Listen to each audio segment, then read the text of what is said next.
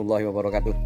Nah Jess kali ini uh, saya akan bercerita tentang pengalaman saya Yaitu uh, tentang pemeliharaan pohon mangga Yang sampai saat ini Yang sudah saya terima, saya hasilkan Itu pohon mangganya berbuah sangat lebat sekali Jess. Nah apa namanya ini ada beberapa trik dan teknik yang tanpa sepengetahuan itu saya hanya mencoba-coba aja. Tapi hasilnya ya luar biasa. Nah bagaimana uh, teknik yang saya gunakan untuk mencoba-coba itu Jess? Nah ini caranya Jess. Jadi saya hanya berprinsip bahwa uh, semuanya itu uh, tentang alam. Jadi kalau alam itu pohonnya menggugurkan daun-daunannya Jess nah daun itu akhirnya akan saya kumpulkan. Saya kumpulkan akhirnya juga saya uh, kembalikan lagi sebagai uh, pupuk organik. Jadi saya gunakan untuk pupuk alami ya nah bagaimana Jess? Uh, pupuk itu cara meletakkannya Jess? Nah mari kita ikuti uh, cara atau trik yang saya coba-coba ini Jess. Nah Jess ini pohon mangga ini sebenarnya usianya masih muda sekali ya sekitar tiga tahun. Tapi berbuahnya sangat lebat sekali ya ini trik yang saya gunakan. Jadi setiap daun-daun yang jatuh itu saya kumpulkan saya sapu ya. Nah itu saya kembalikan lagi di pohon pohonnya mangga ini guys. Nah ini guys ini daun-daunannya penuh. Saya kumpulkan lagi kemudian saya timbun saya taruh di pohonnya guys.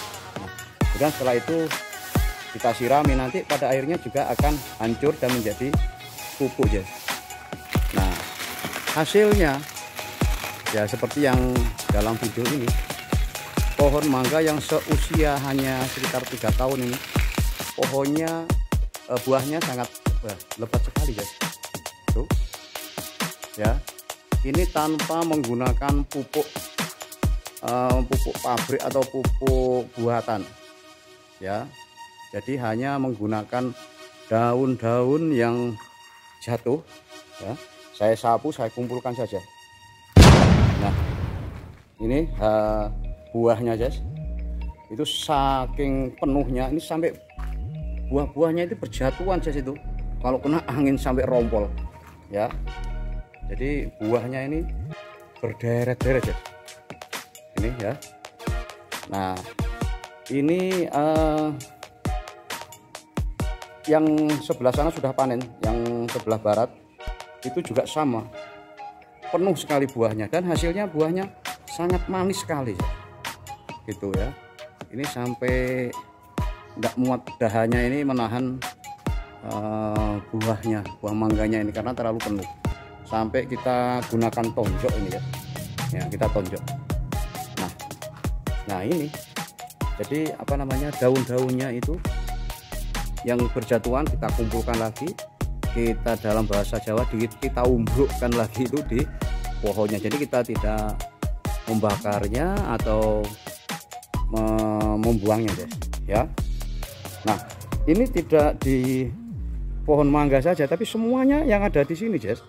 Saya menanam uh, apa namanya buah-buahan di sini.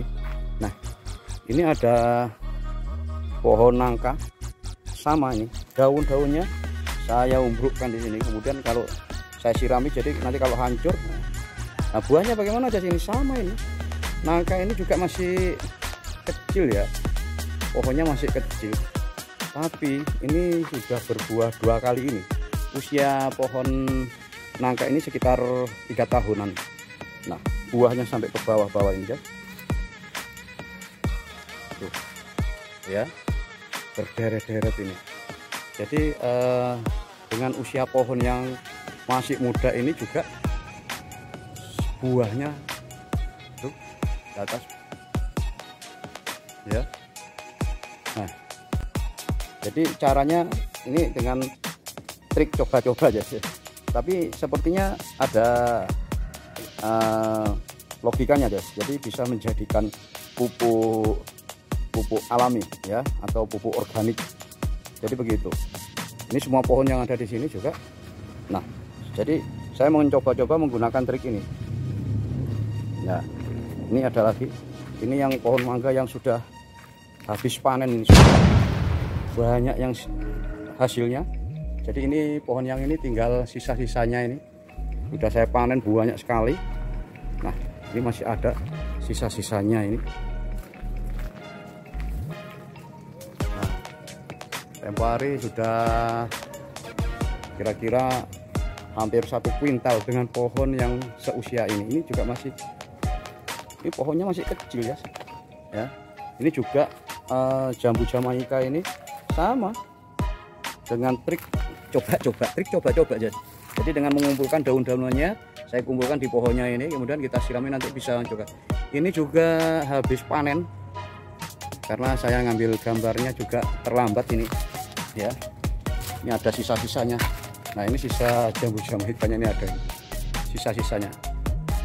Tempo hari uh, waktu saya panen itu sudah hasilnya ada sekitar ya antara 30 sampai 50 kilo ya. Luar biasa ya. Ini hanya trik coba-coba. Nah dalam pembuatan video ini ini hanya berbagi pengalaman. Trik coba-coba ini barangkali ada yang mau ikut coba-coba juga.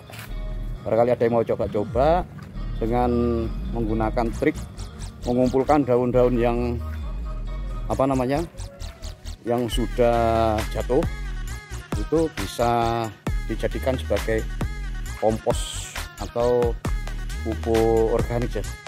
ya ini juga. Ini ada pepaya ini.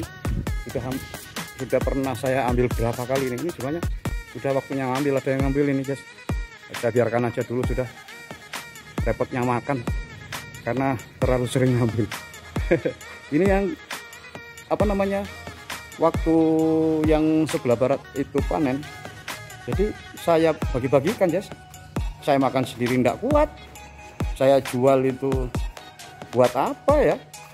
Maksudnya biar sama-sama merasakan tetangga temen saudara itu bisa merasakan. Nah yes dengan teknik ini yes nah dengan teknik apa namanya coba-coba pupuk organik. Coba-coba ya.